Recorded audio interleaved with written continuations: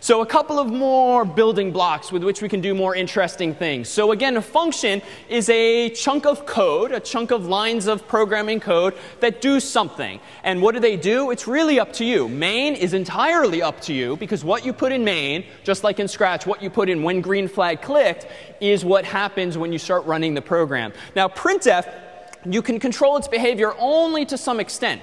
Printf is another function whose purpose in life, again, is to print something to the screen. But the f actually denotes something. It means formatted. Because even though we've been using it for very simple things, oh, hi world, you can actually print numbers and characters and whole words and sentences and other things. You can format numbers as integers, as real numbers with decimal points and all sorts of other conventions. And so printf takes what are called arguments. So when we saw printf before, recall that we saw these parentheses parentheses inside of my program. And anytime you see parentheses after the name of a function, that's your way of modifying its behavior. If you think back in Scratch with all those puzzle pieces, sometimes you could type a number into a little white box or you could drag a puzzle piece on top of another and it would sort of magically grow and then contain it. Well, same idea here. You can modify the behavior of puzzle pieces and functions by passing them arguments. It's just in C, you have to be a little more deliberate with the keyboard. And so anytime you see parentheses right, out,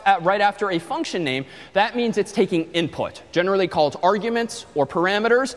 Uh, but these are, for our purposes, now synonymous. It takes input. Why is that useful? Well, it'd be a pretty stupid function if all printf could do is print oh hi world. It'd be nice if it could print anything. And indeed it can. I just have to choose as the programmer what to pass in between double quotes. Now, any guesses as to what this backslash n at the end has been representing?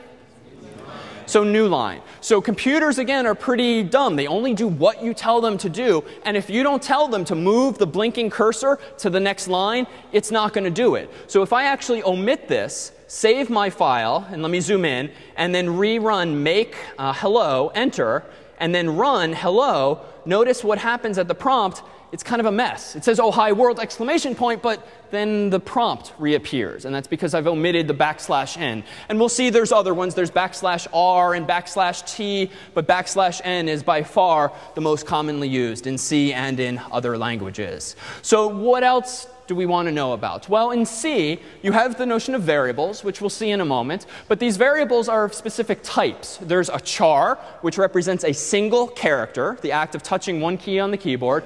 There's an int, which is an integer. Uh, now, an integer, as an aside, is 32 bits. And we only had 8 bits on stage before. With 8 bits, you can represent how many different values?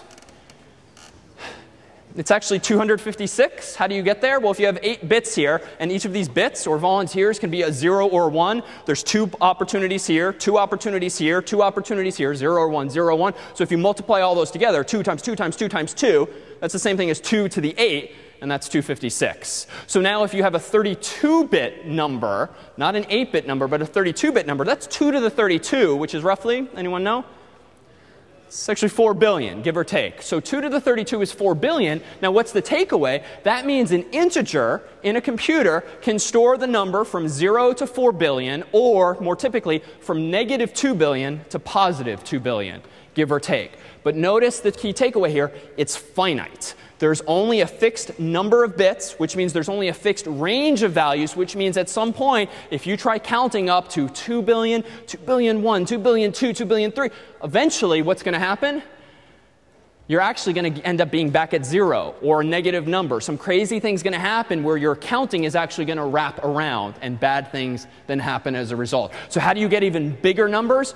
Well, you use bigger integers. You use 64-bit integers. So if you've heard that your PC or Mac these days is 64-bit, that means that all of the numbers with which it performs math are now 64 bits. And that generally is good for speed and performance, um, but it also means older programs that are 10 years old or more often will break on that computer. So we are using, as an aside, a 32-bit uh, virtual machine so that it works on anyone's laptop, even if it's several years old. But there's other data types. Chars are 8 bits. Ints are 32 bits. Uh, float is also 32 bits, but it's what's called a floating point value, a real number, where the decimal point can actually It's a, it's a real number with a decimal point. Now, there too, if you think about it, real numbers we were taught in grade school can be infinitely precise. You can have 0.3333333, and you put a little line over it, which means infinitely many threes. That's really darn precise. It means one third exactly.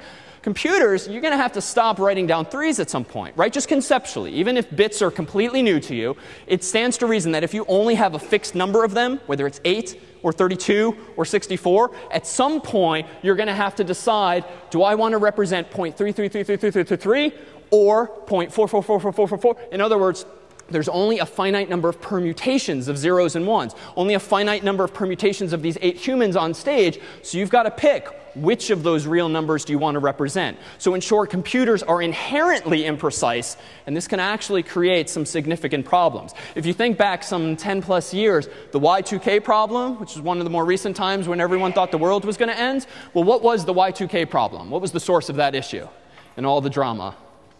Yeah, yeah, exactly. So in a lot of computer programs, the date accidentally went from 1999 back to 1900 because the programmers made the judgment call, good or bad at the time, to, you know, there's no one's going to be using my software in the year 2000. I'm just going to use two digits to represent the two numbers after the 19. The problem, though, is if you're only using two digits and you get to 1998, so 98, 99, what do you get when you want to hit 2000? You need the number 100, but if you're only using three decimal digits, you're kind of out of luck. So what did these programs do in Y2K? They wrapped around back to 00, so all of a sudden people's dates were 1900. And just bad things happened. The world did not, in fact, end. And in fact, a lot of people made a lot of money fixing all these problems, um, but uh, using fairly arcane languages at that time. But the point was that that was just a design decision, arguably a foolish design decision, but if you can imagine from the 10,000 thousand pound computer, memory was expensive back in the day, and it wasn't all that large. So you wanted to cut as many corners as possible, but it turns out that people were still using software that's 20 years old, 30 years old. And I don't doubt on campus there's computers that are still running software that old, and they've just been patched together over time. So what can you do when you need a bigger number than 32 bits uh, for an int or a float? Well, there's uh, ironically, you'd think it would be a long number, but it's in fact not. It's usually a long, long. So we'll see that you call the data type, the type of number, it's a long, long, and that typically gives you 64 bits. If you want even more precision for that decimal point, you can instead use a double, which is a 64-bit real number. It's still finite. So you cannot, in fact, represent all possible values despite what we learned in grade school. You have to choose a finite range of them.